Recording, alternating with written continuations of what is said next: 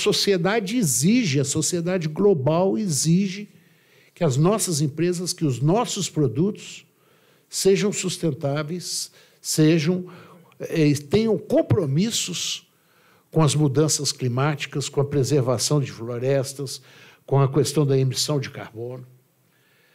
Então, isso é, é imperioso, não tem, nós não temos escolha.